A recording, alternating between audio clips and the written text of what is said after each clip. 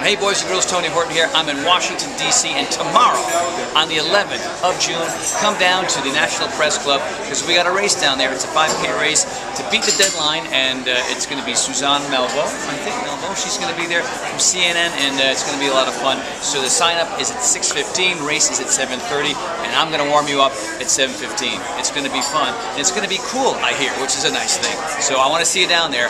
Tony Horton.